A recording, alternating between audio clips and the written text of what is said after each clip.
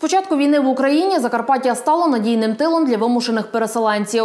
На срібну землю прибуло чимало українців, які готові працювати. Тому в області планують запустити нові підприємства та збільшити кількість робочих місць, аби внутрішньо переміщені особи змогли працевлаштуватись. Наше завдання на сьогодні зробити такий каталог виробничих місць і майданчиків, а також підприємств, які, наприклад, скажімо так, не були успішними або так не в повній мірі могли функціонувати, тому що е, Україна більш її виробничий ресурс був сконцентрований на е, в центрі, на сході, на півдні, а на заході це було більш туристичний напрямок розвитку. Сьогодні ми робимо такий каталог, де кожен представник бізнесу всієї України він зможе подивитися, вибрати собі місто, е, отримати консультацію щодо енергомереж, щодо каналізації інших водопостачань. Місцеві органи влади допомагають школярям, які прибули з інших областей і зареєструвались для навчання онлайн разом із закарпатськими однолітками.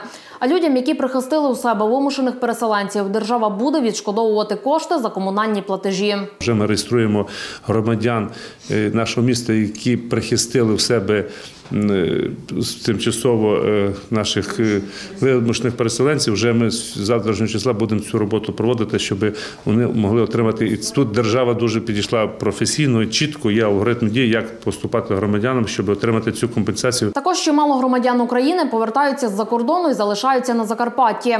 І хоча обласний центр нині перенаселений, але якщо прибувають жінки з дітьми, то їх продовжують приймати.